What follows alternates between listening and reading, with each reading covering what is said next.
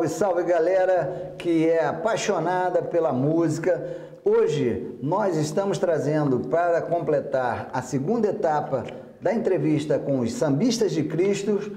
Trouxemos aqui uma, uma grande presença que é o Ninho, que também vai falar um pouco com a gente, além do Cleiton, do Mardi, que também faz parte do grupo Sambistas de Cristo.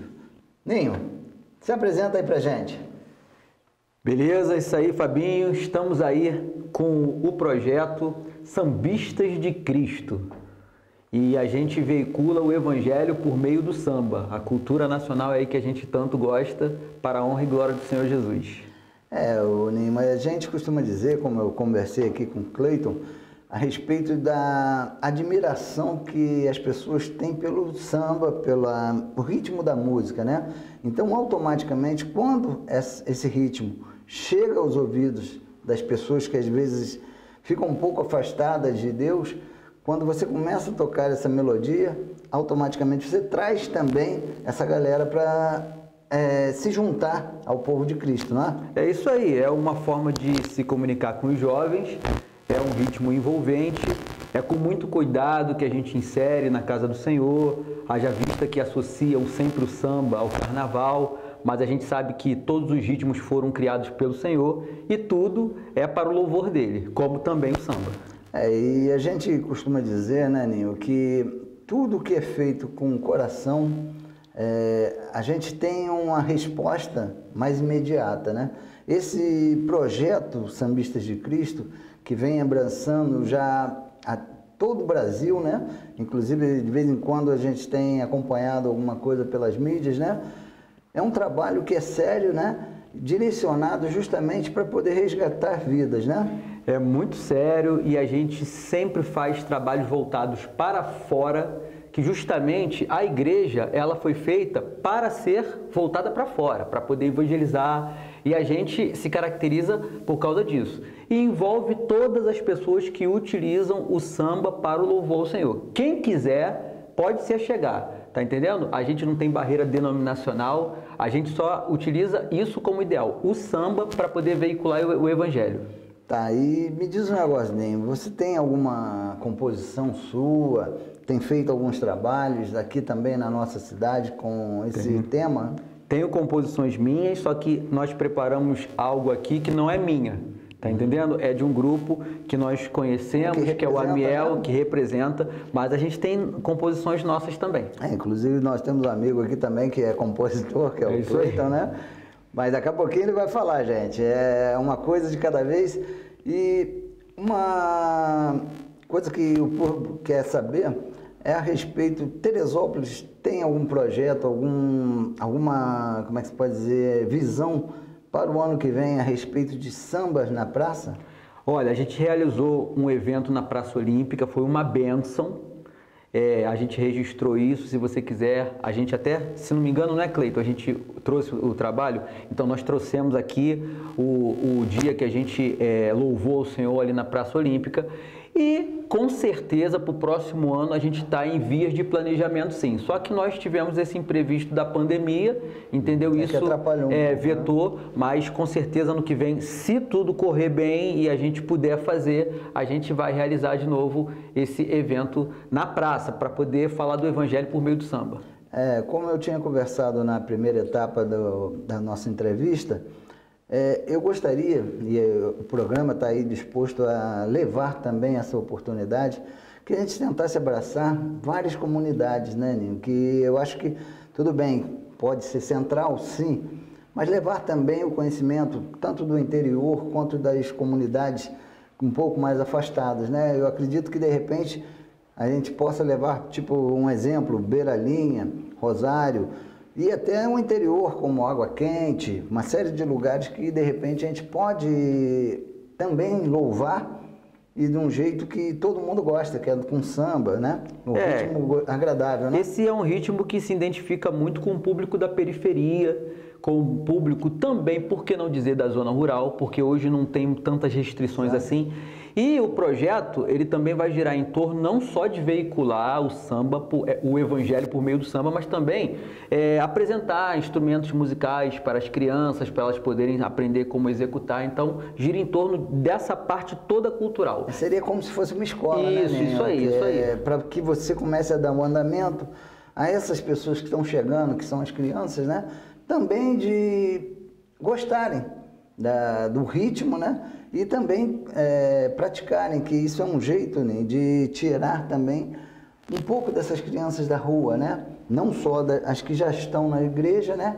Porém, essas que vão vir a agregar também nessas localidades por onde nós vamos passar, que de repente possa também aprender um pouquinho de um instrumento maravilhoso como esse do cavaquinho, que a gente enrola um pouquinho, mas toca alguma coisa, e outros também, como violão, né, guitarra, uma série de instrumentos que também são usados para louvar o Senhor, né? É, e o samba ele tem uma característica bem prática. É, basta você ter um cavaco, um tantã e chegar numa rua, numa rodinha assim, e a criança tem acesso, não tem tantas barreiras assim, então é plenamente acessível e isso aí viabiliza também a gente estar tá, é, ensinando as crianças um é, aprendizado de um instrumento novo. É, como eu tinha conversado com o Cleiton, nosso amigo aqui, o que que acontece? É, você reúne cinco, seis, vamos dizer, com uma quantidade pequena, e quando você começa com um tantã, um cavaco, às vezes um pandeiro, quem passa na rua geralmente é chamado a atenção, né? Independente de não ser o samba do mundo, porém, todo mundo para para escutar, pô, peraí, tem, uma, tem um sambinha rolando ali. É. Então, automaticamente, isso traz a pessoa também a escutar também a palavra de Jesus. Né? É um ritmo convidativo. As pessoas, elas podem até não serem adeptas, mas com certeza chegam, gostam das pessoas executando os instrumentos, porque a gente tem, tem sempre a preocupação de transmitir uma simpatia. É. E uma coisa também digna de nota, Fabião, é o seguinte: a pessoa, mesmo que não seja cristã, muitas das vezes a gente convida para poder tocar com a gente. Tá entendendo? Exato. Que aí tocando ali com a gente sente que a gente tem a alegria e a verdadeira alegria, né? Com a verdadeira alegria que... que... é a vida eterna. É como nós temos alguns amigos nossos, né, que de repente estão até nos assistindo, que eram do samba e partiram para ouvir um pouco mais a palavra de Deus, né? Nada contra quem não gosta, quem é adverso a isso, porém é uma opção que a pessoa tem porque se ela se sente bem dentro de uma igreja e continuando a fazer o que ela faz, né? Eu acho que isso aí é viável, né? E agradável para a vida do cidadão, né? E você vai perceber, Fábio, que as, as, as músicas elas são bem estudadas, bem trabalhadas, pautadas sempre nas escrituras sagradas, porque quando a gente fala assim, dá a ideia de que a coisa é feita de qualquer jeito. Não é. O projeto Sambista de Cristo tem isso em mente. Sempre se pautar pelas escrituras sagradas para poder fazer os seus sambas cristãos. isso é bacana. Inclusive, essa composição que eles vão apresentar aqui tem tudo a ver com uma passagem da Bíblia que é do filho pródigo, né? que vem contando uma história que está dentro da música junto com o contexto bíblico, né? Que você pra, que a pessoa não fique assim dispersa de não saber o que está sendo feito, né? Automaticamente, quando você vem falando a letra da música, você está falando um pouco da, do presságio da Bíblia, né? É isso aí, a, a parábola do filho pródigo e é claro sempre preservando a característica nacional nossa, cultural nossa, porque isso falta um pouco. Então a gente sempre se baseia na palavra de Deus, que é o principal, e colocando a cultura nacional. Então vamos lá para essa galera maravilhosa, vamos ouvir um pouco de uma música falando sobre filho pródigo. Aleluia, glória a Deus.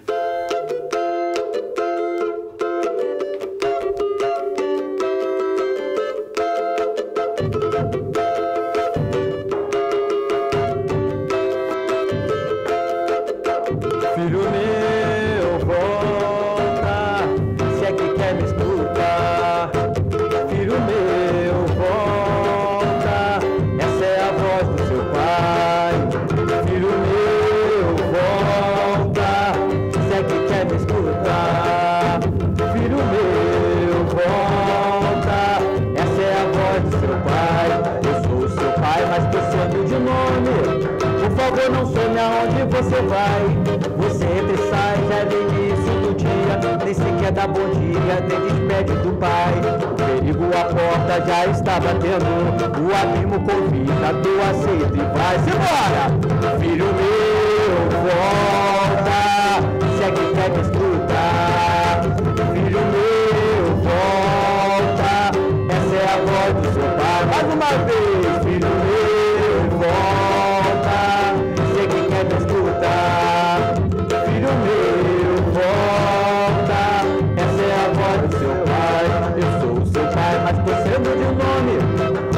Favor, não some aonde você vai. Você entra e sai já no início do dia. Nem sequer dá bom dia, nem despede do pai. Perigo a porta já está batendo. O abismo convida, tu aceita e vai. Filho meu, volta. Se é que quer me escutar. Filho meu,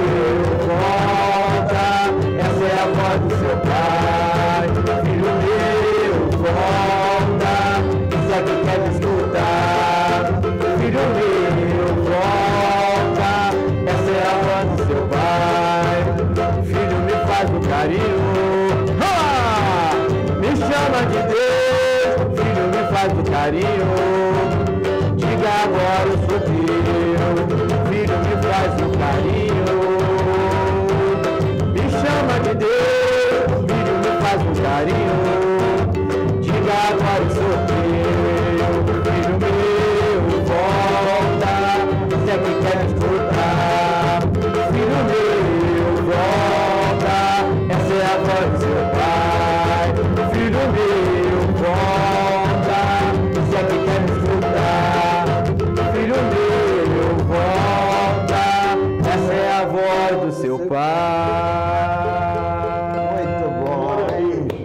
Deus, aleluia. E agora vamos também ouvir a palavra de Cleiton do Lorde, que é um nosso amigo, um dos representantes do projeto Sambistas de Cristo. Cleiton, fala um pouquinho sobre o evento que houve lá no Rio, que você participou. Maravilha. Antes de mais nada, mais uma vez, muito obrigado, Fábio, pelo convite. Ah, a casa agradece. O irmão Marcos hoje conosco também, né? É, faz parte, nós fazemos parte hoje do grupo Resenha Santa, que ainda está em construção, mas é uma das nuances aí de Sambistas de Cristo no Clube Teresópolis.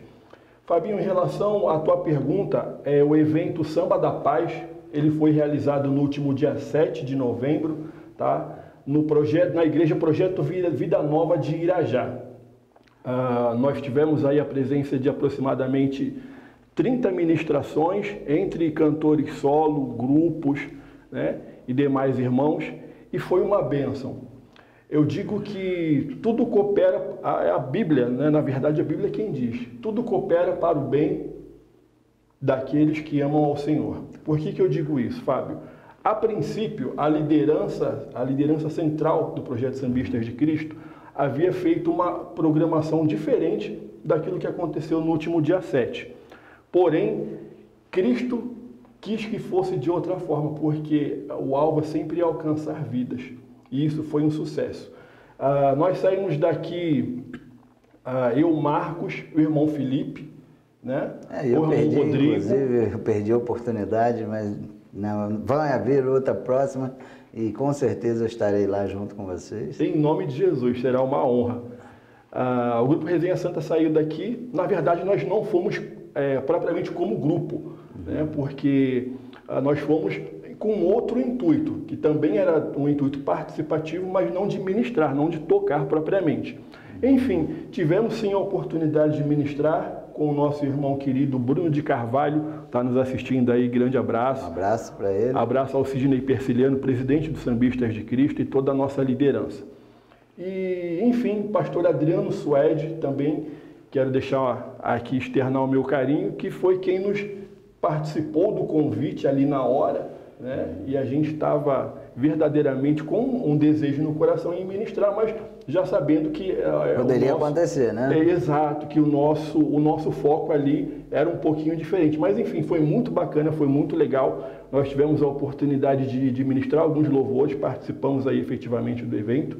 E foi uma benção, foi tremendo. Para você ter ideia, Fábio, pessoas que estavam do lado de fora, né, tiveram a oportunidade de entrar, ouvir o samba, o samba cristão, e acharam assim algo muito diferente daquilo que havia em mente. Porque é, como a gente tinha falado, não cortando né, o seu raciocínio, que quando você escuta uma música boa, que é um ritmo agradável, a pessoa acaba chegando. Exato. E foi, eu acho que mais ou menos o que deva ter acontecido lá, né? Exatamente. Pessoas que estavam passando pelo entorno ouviram, né? igreja, portas abertas, essas pessoas entraram, se sentiram à vontade, se sentiram acolhidas e tiveram a oportunidade de conhecer um pouquinho do samba cristão, o evangelho pregado através do ritmo popularmente brasileiro que é o samba. É, e você vê, né, Cleiton, que é gostoso quando você consegue abraçar almas, né?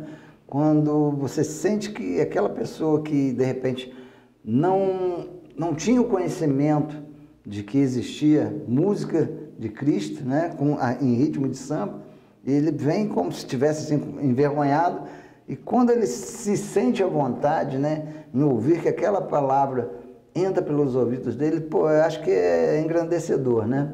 Sem dúvida, Fábio, até porque esse é um dos principais intuitos, né?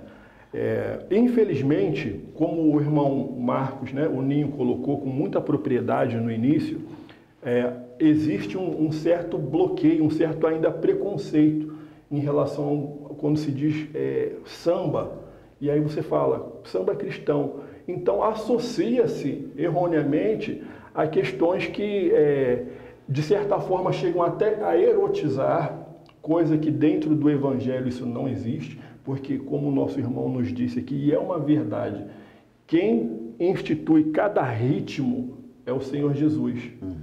Então, independentemente da religiosidade particular de cada pessoa, o ritmo é criado por Deus. Ou seja, uma vez que Deus cria, assim como o samba, o funk, os ritmos populares como o sertanejo, o funk e tantos outros, o inimigo também, por muitas das vezes, por intermédio do desconhecimento nosso, né, como seres humanos, que uh, foi Deus quem criou, toma posse de algumas situações e traz essa negatividade. Mas o samba é essência, o samba é cultura, o samba é diversidade e o samba é de Deus. Poxa, e é um ritmo que abraça o brasileiro, né, o Cleito? Porque desde o momento, hoje a gente passa por uma dificuldade com essa pandemia, né, de não poder aglomerar muitas coisas, né, de muita gente, mas mesmo assim, o calor humano, quando você consegue se conscientizar e se encontrar com os irmãos, né, é muito bom. Por quê? Porque o samba tem esse poder. A música é, agregada ao samba consegue trazer uma massa bem grande. Como você pode ver que você já participou, eu participei várias vezes de eventos do samba do mundo, né? E quando você faz um evento para Cristo, é uma novidade para muitas pessoas, que é por isso que o programa está trazendo vocês aqui, justamente para poder divulgar cada vez mais esse trabalho e com certeza que se perpetue por vários anos, né? Para que possa ser louvado e ministrado a palavra de Deus junto ao samba que eu acho que é o a representativa. A, ih, gente, a representação do nosso amigo Cleiton e do Ninho, que estão aqui representando sambistas de Cristo. Amém, Fábio, que assim seja. É, nós temos, não só nós, como eu, eu, digo, quando eu digo nós, no, no sentido geral da palavra mesmo, né?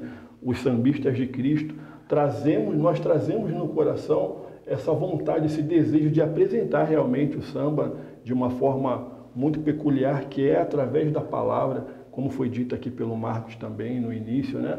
As composições, elas são sim pautadas na Bíblia. Jamais, isso eu posso dizer com muita tranquilidade, você vai ouvir algo que não condiz, que não, que não seja condizente com algum trecho bíblico, com algo, com algo que seja relatado na Bíblia. Ela Porque, tem um fundamento, exato, né? Exato, exato. Não é simplesmente escrever aleatoriamente. Até porque tanto o Marcos como eu, como acredito que todos, grande parte dos sambistas, posso dizer assim todos, antes de escrever um louvor, primeiro a gente pede a Deus que nos dê inspiração, a gente pede a Deus que nos use como canais de bênção, porque o samba, a música, o nosso intuito é levar ao coração dessas pessoas, que de alguma forma passam por alguma, algum tipo de dificuldade que muitas das vezes nós já passamos também e pode ser que até passamos. O fato de hoje sermos cristãos não significa que não tenhamos problema. Muito pelo contrário. A diferença é que através do nosso problema cremos na solução que é Cristo Jesus e apresentamos isso através da música, através do louvor, através do samba e do pagode.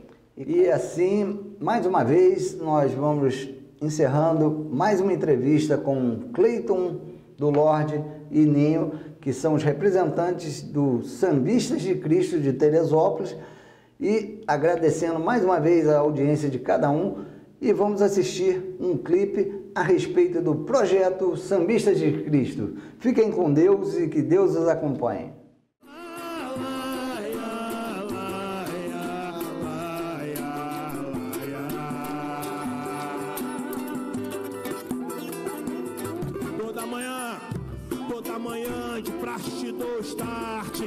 Pelo sono que me deste. É, tu me conhece, acredita em mim. Tua promessa é bela até mesmo depois do fim. E segue assim a epopeia que a Cid me ligou e lançou a ideia. Eu processei, a beca já preparei o cafezinho da missionária Kátia, ó, me inspirei. Eu apertei o play no beat, segui destino de. MQV, rolando o som do meu primo, é um hino pra quem reside em comunidade. Nunca esqueci da nossa realidade. Eu vou acessar, vou compartilhar o samba na batida, a galera vai louvar. Eu vou na zona oeste, zona norte, zona sul, do morro pro asfalto sempre encontrando um. No rap apertão, ei, agora aí DJ, o samba na levada com Jesus, o nosso rei. Samba no refrão, eu canto lalaiá. Deixa Jesus entrar na sua vida. É, e no caminho também com vários manos, os de radinho na boca se acabando, plantando e as tias ali chorando. O que fazer? Seguimos aqui orando, tudo quase pronto, chegamos com a negrada. Hoje aqui em Ira já está rolando uma cruzada, pastores aqui deu toque.